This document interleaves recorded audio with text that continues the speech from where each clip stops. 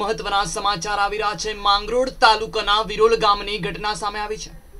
નદીમાં નાહવા ગયેલા ત્રણ યુવાનોના મોત થયા છે. માંગરોળ તાલુકાના વિરોલ ગામના ત્રણ યુવાનો નદીમાં નાહવા ગયા હતા. ત્યાં ઘટના સ્થળે જ તેમના મોત થયા છે. યુવાનો ચાખવા ગામના હોવાનું બહાર આવ્યું છે. ત્યારે લાશોને માંગરોળ સરકારી હોસ્પિટલમાં પીએમ માટે ખસેડવામાં આવી છે.